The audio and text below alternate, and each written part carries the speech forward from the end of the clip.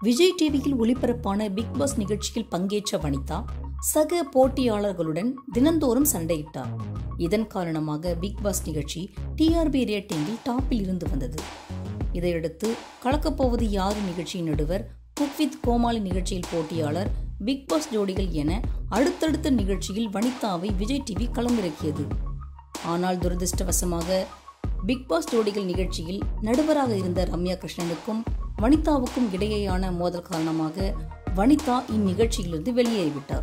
தற்போது வனிதாவுக்கு பட வாய்ப்புகள் குவியத் தொடங்கியுள்ளன. ஒரு சில புதிய படங்களில் வனிதா நடித்து வருகிறார். காமெடி நடிகர் பவர் ஸ்டார் சீனிவாசனுடன் இணைந்து பிக்கப் டிராப் என்ற படத்தில் நடித்து வருகிறார். சமீபத்தில் வனிதா பவர் ஸ்டாருடன் திருமண கோலத்தில் இருக்கும் புகைப்படம் இணையதளத்தில் வைரலானது.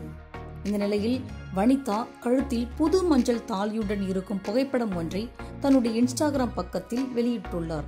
இந்த புகைப்படத்தை பார்த்த ரசிகர்கள் இதுவும் அப்படத்திற்கான ப்ரமோஷன் தான் என கூறி வருகின்றனர். இந்த வீடியோ உங்களுக்கு பிடிச்சிருந்தா லைக் பண்ணுங்க ஷேர் பண்ணுங்க கமெண்ட் பண்ணுங்க. மறக்காம நம்ம சேனலை சப்ஸ்கிரைப் பண்ணுங்க.